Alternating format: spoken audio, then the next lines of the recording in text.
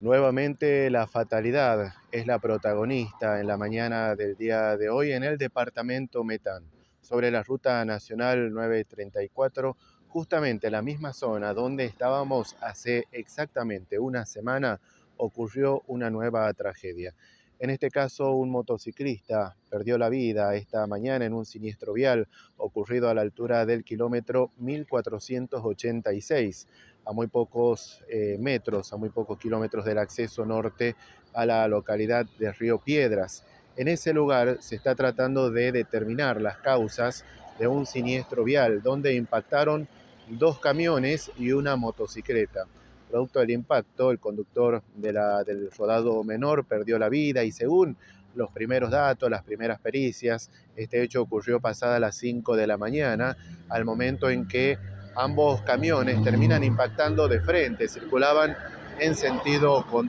contrario. Y al momento eh, del impacto esta motocicleta termina avanzando sobre el parabrisa de uno de los camiones, provocando de forma inmediata la muerte de su conductor. Durante eh, el transcurso de la mañana del día de hoy llegó personal de infantería para poder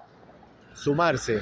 a este operativo porque se había concentrado una importante cantidad de vecinos hacia el costado de la ruta para poder retirar las verduras de ese lugar. Estaban esperando la autorización, incluso se habían formado varias filas de vehículos hacia las banquinas con la peligrosidad que eso representa para eh, las personas que circulan por el lugar. En ese mismo lugar, hace una semana, aquí en Noticiero 11, le contábamos acerca de otro siniestro vial donde dos personas habían lamentablemente perdido la vida al momento de impactar dos automóviles de la misma circunstancia que pasó con los camiones el día de hoy y que lamentablemente nos deja un saldo de tres personas fallecidas en el departamento Metán sobre la ruta nacional 934 a menos de 10 días del primer mes del año 2024.